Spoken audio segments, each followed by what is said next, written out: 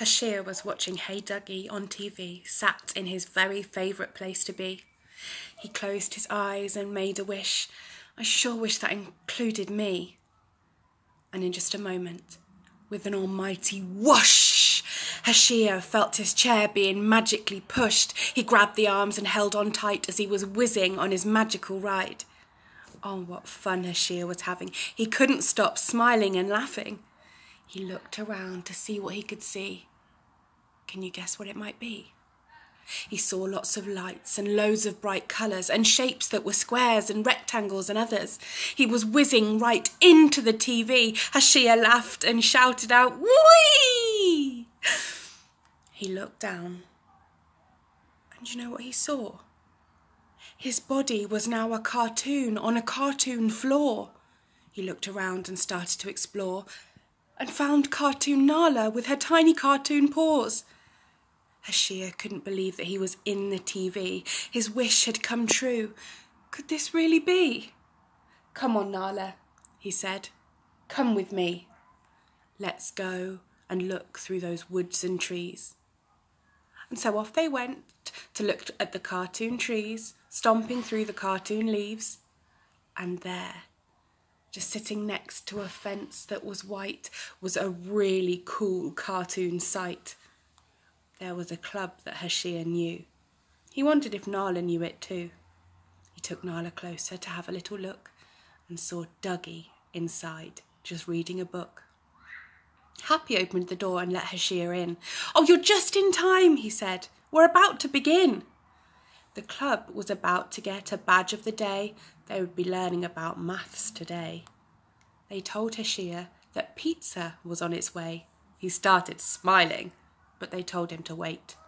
Before you can eat pizza, Norrie said, you have to use it to learn maths instead. Hashir was confused. Whatever did she mean? The only thing he'd used pizza for was to eat. Norrie explained what it was that they would do was learn what is called when pizza is cut in two. But as Duggee put the pizza down, cooked just right, Roly reached over and tried to take a bite. Stop eating that, Betty said. Hashir's trying to learn. You have to wait until it's your turn. They put the pizza in front of Hashir and said, Right, let's get to work here. Whenever we cut the pizza, we can call it a divide. Can you divide the pizza into two and make them both the same size? So Hashir picked up the pizza cutter and cut the pizza in half. Well done, Hashir, they said. You made it look easy, not hard. Then Norrie took the pizza cutter and cut each piece in half again. She said, Look, now the pizza has been divided into four instead. They looked at the pieces. There were four. She was right. One, two, three, four. Perfect. Now they could have a slice. So Hashir and his new friends started to eat. It was so yummy. What a tasty treat. Then Duggee gave Hashir a badge for doing super maths, so he put it on his top and made sure it was attached. He couldn't wait to show his mum and dad what he had learned and let them see his special badge that Hashir had proudly earned. And with that, the magic came whooshing in and sent Hashir whizzing back. It sure was fun for him.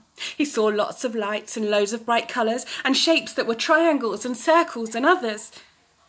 He was whizzing right out of the TV. Hashir laughed and shouted out, Whee!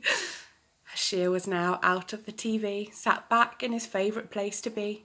He was back to normal, no longer a cartoon and soon from inside the TV, Nala came out too. But there was one thing that hadn't changed at all. Hashir still had his badge on his top, and that was really cool.